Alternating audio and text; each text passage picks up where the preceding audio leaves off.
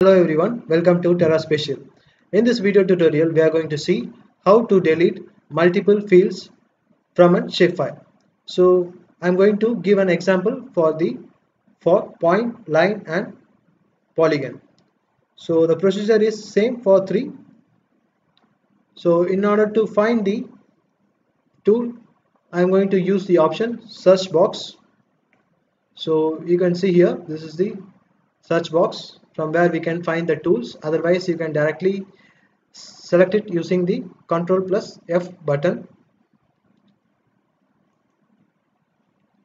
So here we need to type in delete field. So this is the uh, tool from which we are going to delete the multiple fields.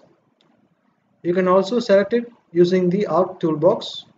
So just open the arc toolbox under that you can see the option data management tools select it now you can see the option fields. Just uh, click here and you can find the option delete field. So you can browse it from the arc toolbox. Otherwise you can directly search it from the search toolbox. So delete field.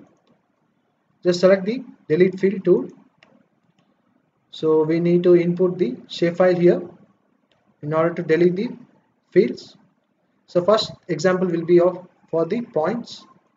I'm just selecting for point. So now you can see here these are the attribute table which is available in the shapefile I'm just opening it and showing you. So these are the fields available. So the things which has to be kept in mind is that we can't delete the field FID shape and as well as we need to have at least one field. So we must have FID shapefile and we, we must have another field. So these are the basic requirements. If anybody comes to know the reason you can just comment in the uh, you can just put it in the comment box. So here I'm going to delete the multiple fields so I'm going to delete. So I'm going to just select all. So I need to have at least one field. So I will be keeping name. So rest of the fields will be deleted. Just click OK in order to delete the field. Here the operation is going on and it's been completed successfully. Now just open the attribute table and we can find. Previously it was around uh, five attributes were present. Now it is just uh, uh, one is available. So this is the fundamental. We can't delete FID we can't delete shape. And with it we, we must have another field. So this is the ba basic fundamentals.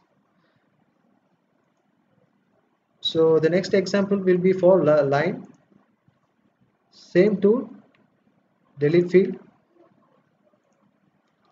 Select the line field. So in this I am going to have the OSM field alone so I'm going to delete rest of the fields. Select all. And I need the OSM ID so I'm just keeping it. Now click OK. So you can see here it has been automatically processing. The delete field is being successfully done. So now you can see here only OSM ID is present. So rest of the field is being deleted so finally the example is for the shapefile for a polygon.